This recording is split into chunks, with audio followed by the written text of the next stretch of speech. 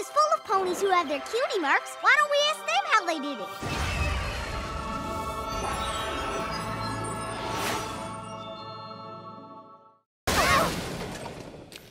Apple Bloom?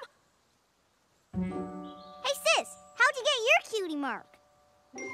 I never told you that story? Why, shoot. I was just a little filly.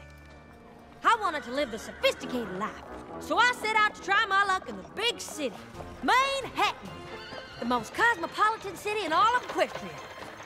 Hey, out of the way, you rube!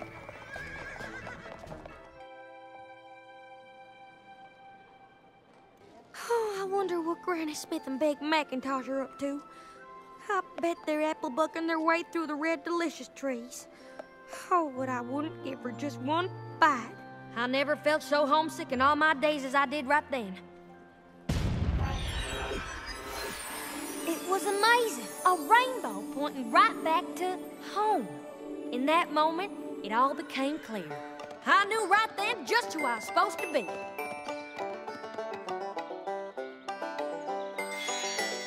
That's when this here appeared. I've been happily working the farm ever since.